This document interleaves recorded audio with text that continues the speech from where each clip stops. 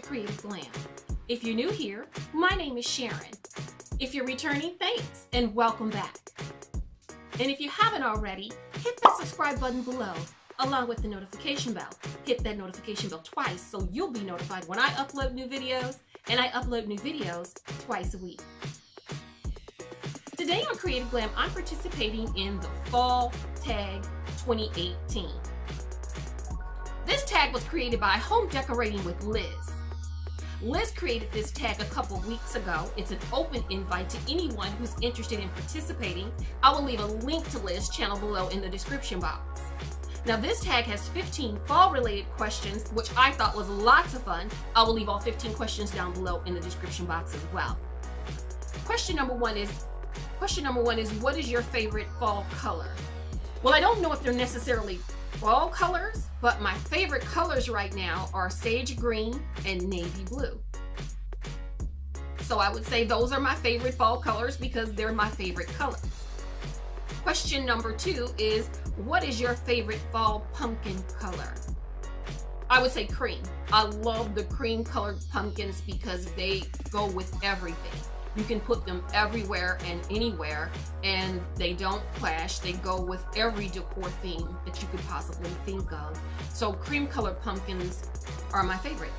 Question number three is, are you a fall or winter person or both? I would choose fall over winter any day. I'm a spring girl. I prefer the spring and summer and fall in that order. You could completely get rid of winter and I'd be okay with that. I am I'm from the southwest, so summer is my zhuzh. That's what I do.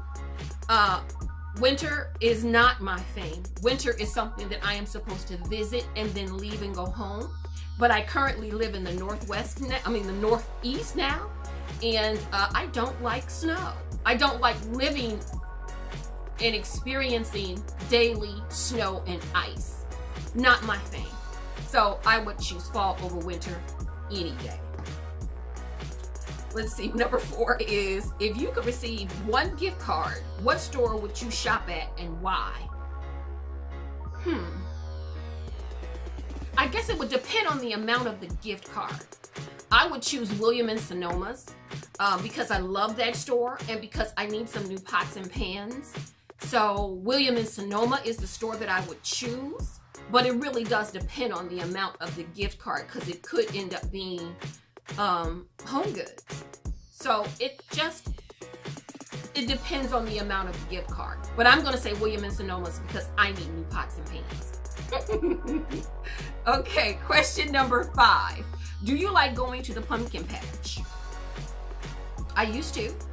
When my children were smaller, that was a family uh, that was a family outing that I always looked forward to. The children loved going to the pumpkin patch, all the pumpkins and the hot chocolate. It was loads of fun. We had a great time. Um, but now, would I go to the pumpkin patch? Probably not. Um, I don't really use live pumpkins anymore. I don't usually decorate with live pumpkins. I usually use the faux pumpkins that I can take and put into storage and put away and bring back out annually. But if I wanted a live pumpkin, I'd probably get one from my grocery store. But would I go to the pumpkin patch? Is what was the question? Did I like going? I liked going when my children were small, but not now. What is your favorite fall animal? Huh. My favorite fall, I didn't know there was a fall animal. Liz, I, my favorite fall animal? Um, mm, I, I don't know. I don't know. I don't have a favorite fall animal. My puppy, my dog, Major, is my favorite fall animal because he's my favorite animal, but I just don't know. I mean, you think of squirrels, but I don't like squirrels. Squirrels scare me. Um, I don't mind looking at them from a distance, but squirrels scare me. Um, I don't know if, I don't know. So I, am gonna say my puppy, Major. He's my favorite fall animal. He's my favorite animal. That's my final answer. My puppy. Let's see, number seven. How do you like to warm up when it's cold outside? Blankets, blankets, and more blankets. I love blankets. The bigger, the fluffier, the softer, the better. Blankets. Blankets and tea. That's my thing. That's how I like to warm up. Do you celebrate Halloween? Why or why not? No, I do not celebrate Halloween. Um, it's not my thing. Um, I did when I was younger. When I was a child, I celebrated Halloween. But after I became an adult and had children, um, no, I don't celebrate Halloween. And I'll leave it at that. What color or colors will you be using to decorate with? Oh, the same colors that I've been using. And I know you guys are probably sick of hearing me say it. Navy blue, sage green, cream, tan, and like an aquamarine-ish kind of colors. That's the color theme that I have going throughout my home. So those are the colors in which I'll be decorating with this fall and um, winter as well. I'll be carrying it through the rest of this year. Let's see, question number 10. Did you get married in the fall? If so, which month? No, I did not get married in the fall. I got married in the summer. Summer is my thing. Question number 11. Do you have a birthday coming up during the fall? If so, what is your birthday? If not, do you have a husband or wife or children born in the fall? What is their birthday? No, I don't. I don't have a birthday in the fall. Um, my husband's not born in the fall. My children were not born in the fall. Everyone was born in the summer.